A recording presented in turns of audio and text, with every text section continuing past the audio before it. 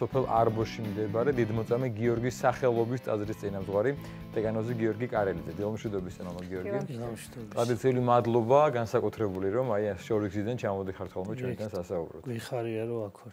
მამა გიორგი, ჩვენ პარასკევობით იცის მაყურებელმა საუბრობთ ხოლმე კვირას ღვთისმსახურებაზე, წასაკით სახარების იმ თავზე, მოხლებზე, რომელიც იკითხება ლიტურგიაზე.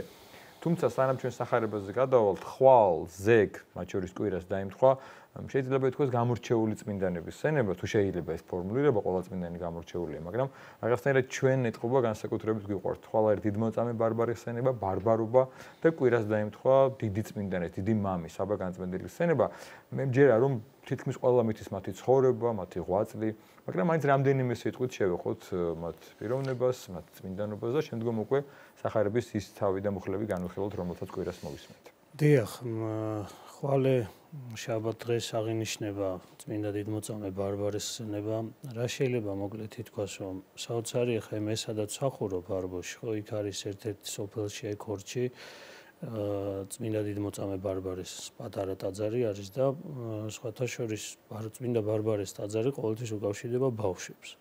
რაღაცა ბავშვების დღეს ფარველად ითვლება წმინდა დიდი მოწამე და აი ძალიან ხალხმრავლობაში იმჩნევა ხოლმე რაღაცა მოყავთ ბავშვები ისე იგი მშობლებს და რაღაც აი მე ვფიქრობ რომ ჩვენ მერმა ტყუილად არ გააკეთა ეს და ძალიან მნიშვნელოვანი არის რომ ჩვენ მოკლედ ამ დღესასწაულზე მაინც სულ ვიძახ ხოლმე ასეთ რამეს რომ აი მოციქულის ხსენება რო არის მაგალითად ჩვენ შეიძლება რაღაცა სახით ტაძრის სახურებაც კი გადადო ადამიანმა და წახვიდე და უბრალოდ სადმე საქადაგებლად გამოიყენო. ანუ ჩვენ წმინდანების ხსენება გვჭირდება რომ გაცოცხლდეს მათი სული. აი წმინდა დიდმოწამე ბარბარეს ხსენების დღეს აუცილებლად უნდა სასულიერო პირი, ხო?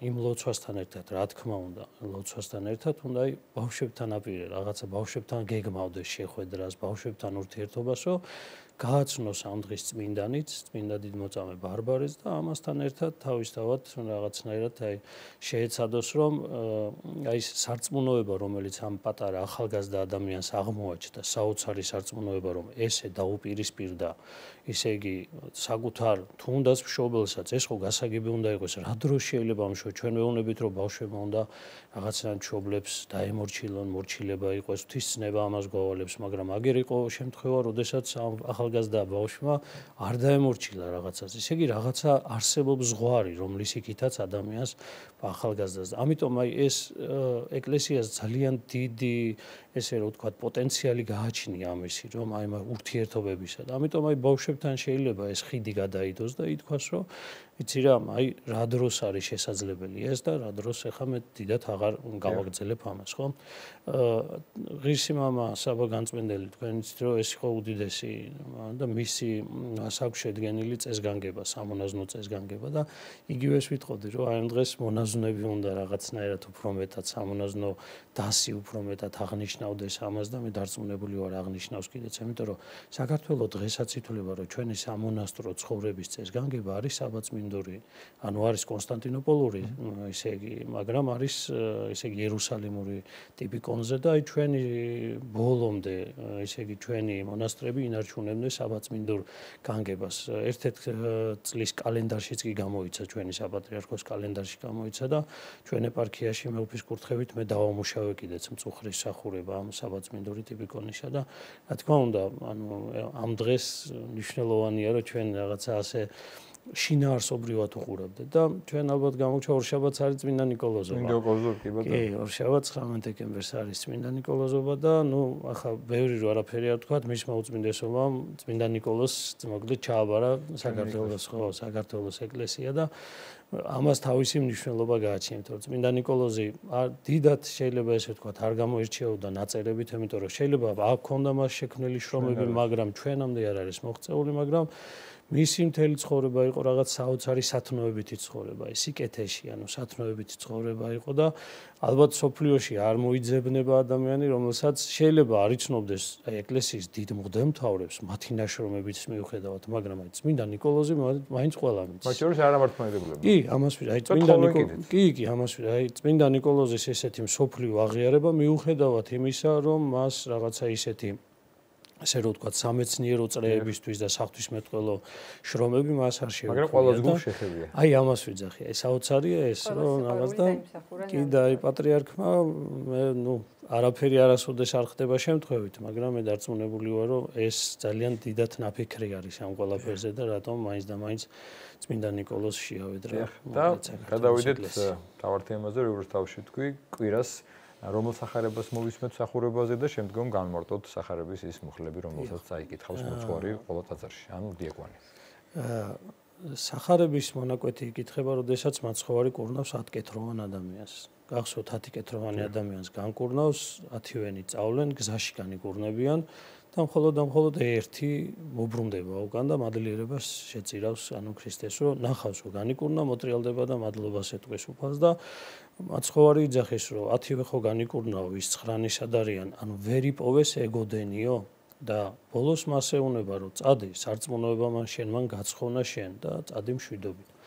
ძალიან აი მე მინდა რომ ეს დავაკავშიროთ რაღაცნაირად სარწმუნოებრივ მდგომარეობასთან. აი მოდი ვისაუბროთ სარწმუნოებაზე აი რა მინდა თქვა იცით რომ რწმენა ეს არის ღვთის წყალობა და საჩუქარი აი ხშირად ადამიანს გონია რომ მე რაღაცას გავაკეთებ ახლა და რწმენა მექნება. და მინდა ვიცოდეთ ყველამ რომ რაც არ უნდა ჩვენ გავაკეთოთ რწმენა როგორც აი ღვთის მადლი ანუ ღვთის მადლის ერთ-ერთი ყველაზე მთავარი ენერგია რომელსაც ჩვენ ვიღებთ ეს არის ღვთის წყალობა შეუძლებელია ადამიანმა რამე გააკეთოს მორწმუნე ადამიანმა იმისთვის რომ მან წმენა დაიმსახუროს. შეუძლებელია ანუ წმენა ეს არის ღვთის წყალობა მოდი შევთანხმდეთ ამაზე. პირველი ნაბიჯი რო გადავდგათ ეს არის ღვთის საჩუქარი ღვთის მოწყალება არის სხვა შემთხვევაში შეუძლებელი არის რომ ადამიანმა მოკლედ ეს რწმენა მიიღოს. ახლა ძალიან მნიშვნელოვანი შემდეგი ნაბიჯი რომ აი რა პირობით ჩერდება ადამიანთან რწმენა ანუ რწმენა რჩება ადამიანთან იმ შემთხვევაში, როდესაც მისთვის ლოცულობენ, როდესაც მისთვის ზრუნავენ და როდესაც მისთვის იბრძვიან. აი ნახეთ ორი მდგომარეობა, ხო? 10 კეთროვანი წავიდა, ანუ 10 განიკურნა, 9 წავიდა, 1 მოbrunდა. ისმის კითხვა, რატო მოbrunდა ეს და რატო დარჩა ისინი? აი ხ არის ზუსტად რწმენითი მდგომარეობა. პირველი უნდა განსაზღვროთ ის, რომ უფალი 10-ვეს აძლევს კურნებას. წეღა როგორც თქვი, უფალი თავის მადლს არიშურებს არავისთვის. განა არ არ შეგვიძლია ვთქვა, რომ ღმერთმა ხო ყოველივე იცოდა. რატომ განკურნა ის ცხრა, რომელიც იცოდა, რომ არ მოbrunდებოდნენ უკან, მაგრამ ეს არის აი პავლე მოციქული როგორც იძახის, რომ რომელსა ნებავს ყოველთა კაცთა ცხონება. და მეცნიერებასა ჭეშმარიტების სასამოსლო. ანუ ყველას აძლევს უფარი მადლს. ყველას, აი მზად არის ყველას მისცეს, მაგრამ აქ არის თავარი ადამიანი არის თუ არა ამის მიმღები. აი მაგალითად პოეტები და ისინი ანუ ისინი ეძახიან ხოლმე ამას მუზას, ხო? ხო გახსოვთ მუზა და მოვიდეს პოეტს და ხელოვანი ხელოვანი ხალხი და ყოველთვის ასამობენ ერთ ციცი რომ ვერაფერს ვერ გააკეთებ ისეც რომ მუზა მოგივიდეს. თავის მუზა მოდის თავისით. და ანუ ნახეთ ძალიან გავს ამას და ანუ იძახიან ხოლმე რას? უდ აღმოჩნდი იმ ადგილას იმ დროს ზუსტად სადაც ის მუზა მოვა და შენ მოგიცავს. ანუ შენთან მოვა და შენში დამკვიდრდება. აი ესები არის დაახლოებით აი მსადყოფნა მუდმივად ადამიანისა ემრწმენის მოსვლისა.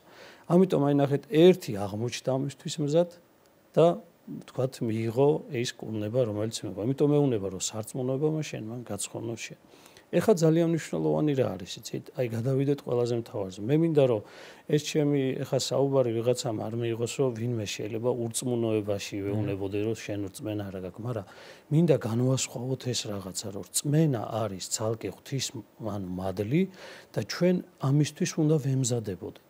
ნახეთ ახლა ადამიანმა რა რა მოინდომა. ადამიანმა ძალიან მოინდომა რომ ღვთის მადლი შემოსაზღვროს და თქვას რომ აი რაღაცას გავაკეთებ ისეც რომ მე ჩავითვლები რომ რწმენა გამაჩნია. მოდი ვთქვათ ახლა რატომ გვინდა რომ ჩვენ ამაზე ვისაუბროთ? იმიტომ რომ ყველაფერი კეთდება სამყაროში ბოროტი ძალის მიერ რომ ადამიანში შინაგან რწმენა არ იყოს. დაიკარგოს რატომ? იმიტომ რომ ეს არის ძალა რომელიც ადამიანს იცავს. ეს არის ძალა, რომელიც განსაცდელების ჟამს ადამიანს ყველანაირ სიძნელეს გადაატაინებს. ეს არის ძალა, რომელიც სიბძნეს და გონიერებას აძლევს ადამიანს. ეს არის ძალა, რომელიც აი საოცარ სიმშვიდეს განიჭებს ადამიანს. მიუხედავად რომ გარეთ ბობო აი ბობოქრობდეს ყველაფერი, შინაგანი სიმშვიდე გააჩნია ადამიანს. აი როგორი სიმშვიდე, იცი, გაიხსენეთ მაცხოვარი, ოდესაც ღელო არის ზღვაში და მაცხოვარს რო ძინავს. თქვენ ფიქრობთ რომ ძინავს? ანუ აქ როგორი როგორი მდგომარეობა იცით რომ ის გარეს ისე იგი ბობოქრობა რაც არის უფალს არ ეხება. იმდენი შინაგანი სიმშვიდე და ნახეთ მოციქულები ცდილობენ რას რომ აი გაიღვიძე გაიღვიძე ვერ ხედავ რომ ესე იგი ყველაფერი ჩვენ ანუ რა უნდა თავისი ბობოქარი მდგომარეობა თავისი ეს შინაგანი რაც აქვს წუხილი და შფოთი მაცხოვარმა გაიზიაროს ანუ შენს გაიზიარე ვერ ხედავთ როგორ და მაცხოვარ ასაკეთებს. ნახეთ ეს არის მორწმუნე ადამიანის სახე წამოდგება და თავის განა მათ შფოთს გაიზიარებს. თავის სიმშვიდეს უბოძებს მათაც და საოცარიან თელ ბუნებას. აი ეს არის ქრისტიანი ადამიანი მორწმუნე ადამიანის სახე როდესაც მიუხედავად იმისა ოჯახში გარეთ შფოთია ოჯახის წევრები შფოთავენ მორწმუნე ადამიანის ზის. მორწმუნე ადამიანს გააჩნია ის, რაც ხედავს, რომ ამ სამყაროში ხა უკვე აღარ არის და რა შვება, იცი? ხშირად არის ხომე, რა არის შე რა მშვიდად ხარ, ისე იგი შე ვერ ახედავ რა ამბავი ხდება და ხშირად არის ხომე ჩვენთანაც, აი რომ ანუ ღმერთო სადახარ და ამდენი ეს ხდება, ამდენი ის ხდება და თითქოს აი მორწმუნე ადამიანი რას ფიქრობს, იცი? აი საოცარი შინაგანი სიმშვიდე გააჩნია და ცდილობს, რომ ეს სიმშვიდე გადასცეს.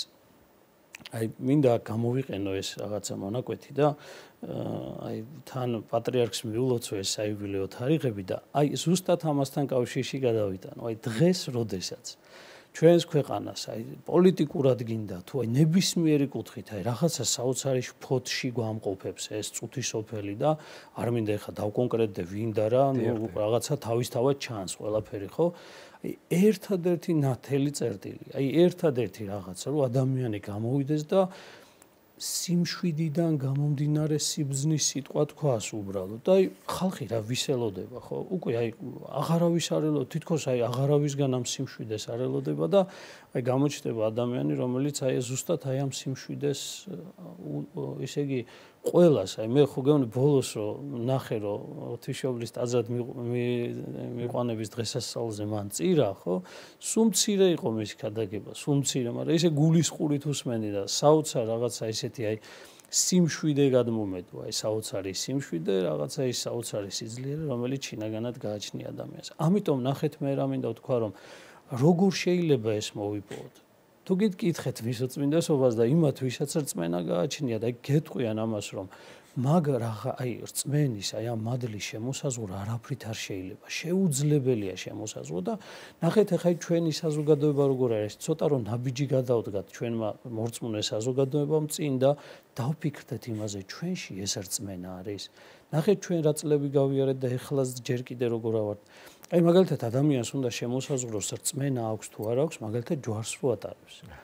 აი მე რო ჯვარს ვატარებ, მას შესაძამე მე მორწმუნე ვარ. ახლა თუ ადამიანი მონათრულია ხო, თავისთავად, ნუ ამაზე ლაპარაკი ზედმეტია, ესე იგი რაღაცა ისა. ახლა თუ კი ადამიანი ეკლესიაში დადის, ნუ აქ ხო საერთოდ და მე ხა თუ გავაგზელეთ და ვთქვით რომ ეკლესიის მსახურია, ნუ აქ უკვე ლაპარაკი ზედმეტია და მოდი გავწდები ამას და ვიტყვი და თუ სასულიერო პირია ხო, ну, აქ არც განიხილება ესე როგორ შეიძლება სასულიერო პირი იყო და არ იყო მორწმუნე. მოდი პირდაპირ თქვათ ასეთი რაღაცა, რომ ნებისმიერ შეიძლება, ანუ ეს მადლი, სარწმუნოების მადლი შემოსაზღვრული არ არის.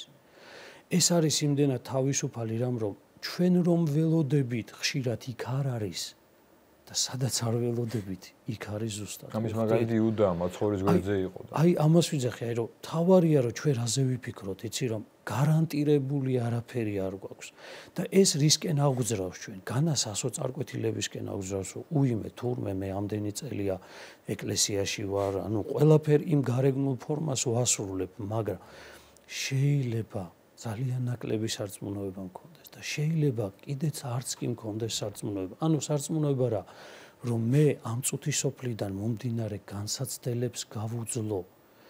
კეთროვანი ვიყო. გამიგეთ და ჩემი კეთროვანება ვატარო. მე რო განვიკურნებით ძალავი პოვო იმისა რომ მოტრიალდე და ღმერთს მადლიერება შევწირო. აი ეს საოცარი შინაგანი ენერგია არის რომელიც ადამიანს უნდა გააჩნდეს და ადამიანი უნდა ამოწმებდეს საკუთარ თავს. რომ მე წმენაში ვარ თუ არა. აი ეს სარწმუნოება გამაჩნია. ანუ კი მე გარეგნულ ფორმებს ვიმეორებ კიდე რომ ყველაფერს ვიცავ და მასთან ერთად საშუალება იმისა რომ დიდი მორწმუნე ვიყო. აგერ მე სამდელო პირი ვარ ხო? იცი რამდენს ფიქრობ ხოლმე რომ ჩემი რწმენა ნეტა როგორია ეს რწმენა და რას გაუძლებს? თქვათ აი გარედან მომდინარე ამ განსაცდელებს გაუძლებ. მოდი ჩვენ ბოლო უახლეს ისტორიას გადავხედოთ, რაც 30 წელი. რამდენმა ადამიანმა ვერ გაუძლო ამას? რამდენი სასულიერო პირი მათ შორის, ხო? ჩვენ ხომ უნდა უთხრათ ადამიანებს და ჩვენ ხომ უნდა ეს რატო ხდება? აი ხო უნდა უთხრათ, ხო დაბნეულია ჩვენი მორწმუნე საზოგადოება და ხო უნდა უთხრათ, აი რატომ? რატომ შეიძლება ადამიანი სასულიერო პირი იყო მათ შორის და აცდე აი ამ რაღაცას? რა არის ეს? რა კრიზისია შინაგანი? რატომ არ იმიტომ რომ ადამიანი ყველა ინფორმაციას ასრულებდა, ლოცულობდა კიდეც, მიხვდით, წირვასაც კი ატარებდა. წარმოიდგინეთ, ხო? მაგრამ იმ მომენტში, როდესაც მას ჭირდებოდა, რომ აი ესე მიიღო ის გადაწყვეტილებები თუ კონკრეტულ მომენტში, როდესაც მისი სარწმუნოების გამოცდის დრო დადგა, ადამიანმა ვერ ჩააბარეს. რატომ? აი ეს ძალიან მნიშვნელოვანია, რომ ყველა ფიქრობდეთ, რომ ჩვენ ყველას დაგვიდგება. გახსოვთ, დათა თუთაშხიაში არის რომ მოდესაც ზარანდია დოცენტს რო კითხავს, დოცენტი ონება აქავ დგევარ და სხვანაირად არ ძალმიცოდა.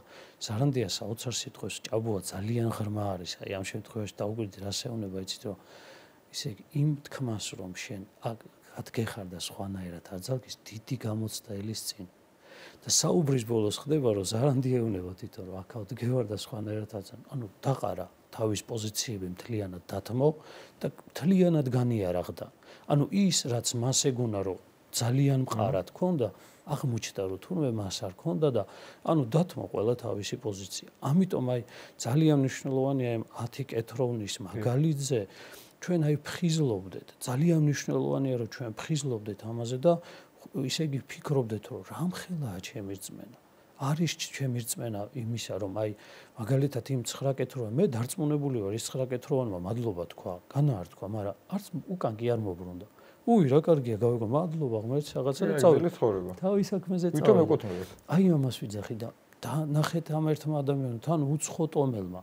თელი სახარების ის რა არის გახსოვთ რომ რჩეულებს შეიძლება წაგერთვათო და მიეცეთ ისეთებსო აი გაიხსენეთ ეს მაგალითი ეს სამარიტელი იყო ხო კი ბატონო გაიხსენეთ რომ ანუ ისრაელს შორისო ესედენი სარწმუნოება ვერ პოვე, როდესაც ასის თავის ქალიშვილს განკურნავს. ანუ მთელი შინაარსი სახარების არის რა რომ უფალი იძახი გვეუნება რასო. მე თავისუფალი ვარ თქვენგან. ჩემი მადლი, ჩემი სარწმუნოება თქვენით არ შემოისაზღვრება.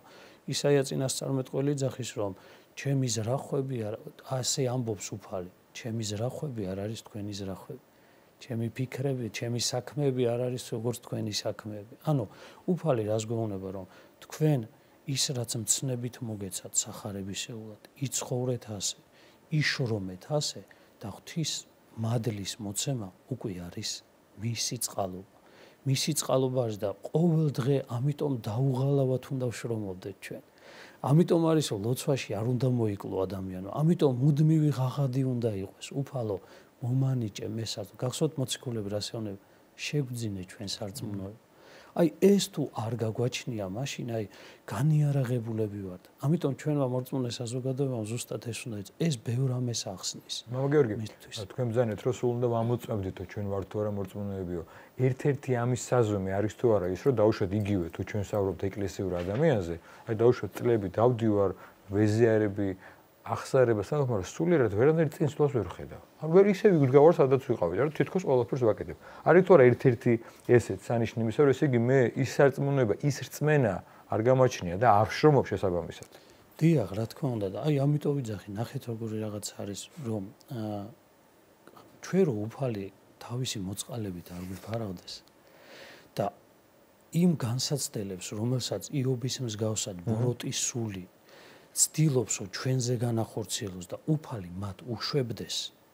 უბრალოდ უფალი იმდენს უშვებს ჩვენზე ამ განსასწრებელს, რომ აი ამაზე შეგვაფხიზლოს და რა გითხრას იცი, დაფიქრდი. ხო ხედავ შენი სარწმუნოება არ არის საკმარისი. თუმცა პირიქით ხდება, ნახეთ, განსაცდელები აი იობის მაგალითია და ჩვენ ვიცით რა სეონება ღმერთი ეშმაკს ატოუშებს და ჩვენთან პირიქით ხდება, ჩვენთან რა განსაცდელი მოდის ღმერთს ყვეთრით, მე ხო ყველაფერი ვქენი და რატომ მიგზავნი ამ განსაცდელს? ხო და ეს არის ხო დავდივარ ეკლესიაში და განსაცდელი არ გვინდა. აი ეს არის ჩვენი ცირად მორწმუნეობა. მას ვიძახ. აი ეს არის ყველაზე დიდი გაუხატველი, იმიტომ რომ ნახეთ როგორ არის ურწმუნოება არის მაშინ, როდესაც მე რწმენა მინდა შემოვსაზღვრო. და ღმერთს მე ვკარნახობ. ისე იგი რომ მე ამეებს ვაკეთებ და სადახარ და თან თხოვ. აი ამას ანუ სადახარ როგორ მე ამეებს ვაკეთებ და შენ ჩემთან არა ხარ? და უფალი რას გვეუბნება იცით? აი მე მიგრძნია მართლა. მიგრძნია მე მინდა თქვა ეს და არ მერიდება ეს. მე ვცდილობ ამაში რა თქმა უნდა უფრო უკეთესი გავხდე და წლები ამას ვცდილობ მაგრამ აი წირვა დამემთავრებია და მიგრძნია და თითქოს უფალს უთქვავს არა ვარ ახლა მე შენ იცი რა სამწუხარო განცდა აი ცრემლები წამოსვლია რა ცრემლები ხო შეიძლება წამოგივიდეს იმაზე რომ აი ღვთის მადლის მოზღოებას ხო სიხა მაგრამ დამიჯერეთ აი ესეც ესეც გასაზრდელია. უფალი ამასაც მაგიტო აკეთებს რა გითხრას იცი რომ თვით კმაყოფილებაში ნუ ჩავარდე. შენი თუნდაც არ ვიცი ლამაზი ხმით ან რაღაცა იმით შესრულებული თუნდაც აი ამ სახურების უკან შეიძლება სულაც არ ვიდგე მე. სულაც შენი წარმოსახვა იყოს და შენ ცდილობდე რომ აი ამითი მე გამომიჭირო და მაიძულო რომ თითქოს შენ მადლი მოგცე და სარწმუნოება შეგძინო, მაგრამ არა. ბოდიში, მაგრამ არა. ანუ მე სხვა მჭirdება. სხვა რაღაც მჭirdება. ის შენი გული მომეც, რომელიც არ ჩანს, არავის არ ჩანს ეს. შენ ვერ მიხვალ და ნახე როგორ არის სარწმუნოებას. ამიტომ ვერ საუბრობთ ამაზე. ერთადერთი ვის სარწმუნოებაზე შეიძლება ელაპარაკო არის მე.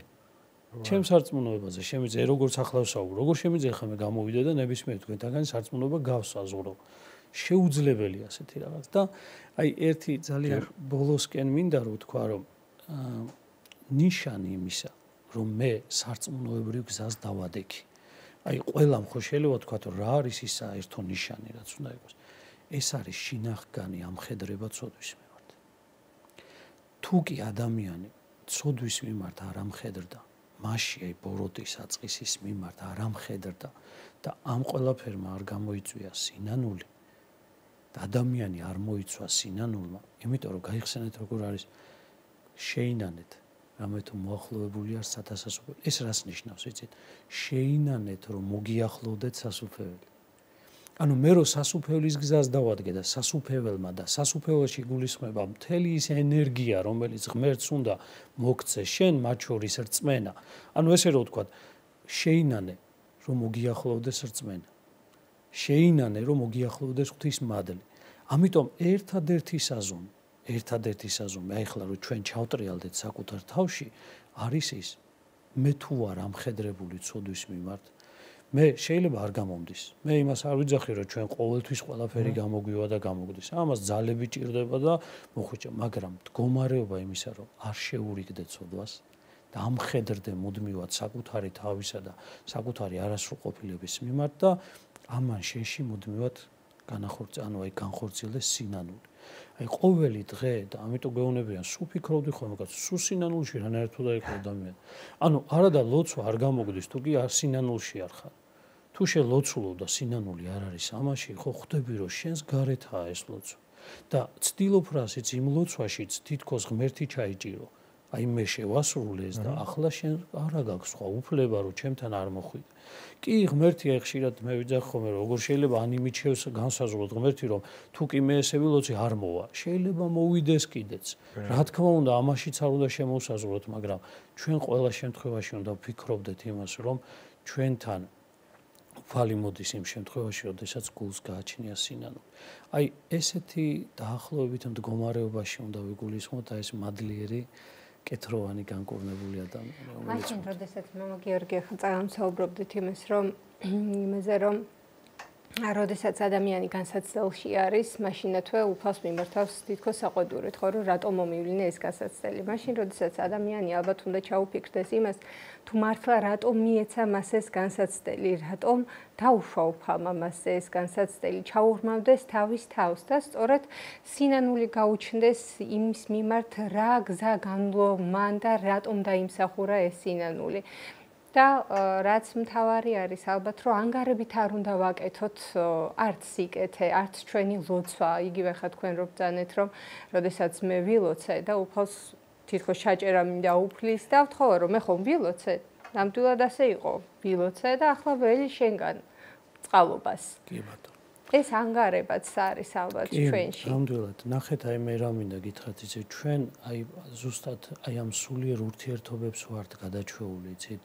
ანუ როცა აი დამიჯერეთ მე, როდესაც აი ეს ღვთისმადლი შეეხება გულს, ეგრევე ხვდები, აი დამიჯერეთ, აი ყოველდღე რო რაიმე მოხდება ჩემ ცხოვრებაში, უკვე ვიცი რატომ მოხდა. ანუ ამ ეს ღვთისმადლი გიხსნის შენ შემდეგ ამას. და როდესაც შენ მოსულ განსაცდელს ვერ უძლებ და იძახი რომ დრტვინვაში ვარდები, ისე იგი ეს არის ზუსტად იმ სარწმუნოების ნაკლებობა. სუსტად სარწმუნოების ნაკლებობა და სულიერი ცხოვრების შინაგანი კრიზისი არის. სიმადლე. და ზოგჯერ გვაუწყდება ის განსაცდელი, როდესაც მოგვარდება, რატომღაც მივიწერთ ხოლმე ისევ ჩვენ ან გარემო პირობებს. აი, 9 კეთროვანი. ასე კი. 9 კეთროვანი წავით. ჩვენი ღვაწლის შედეგად და არა ის რომ უფალი იდგა ჩვენს წინ და გვეხმარებოდა ამ ყველაფერში და მადლობა გადაუხადოთ კულტურას. დიდი მადლობა გადაუხადოთ მამა გიორგისაც. უგუნესი მადლობა ჩამოვზანებისთვის, საუბრისთვის, შევახსენეთ ჩვენს ტელემაყურებელს რომ შესაუბრებოდა სოფელ არბოში მდებარე დიდმოწამე გიორგის სახელობის ტაძრის წინამძღვარი დეგანოზი გიორგი გარემიძე.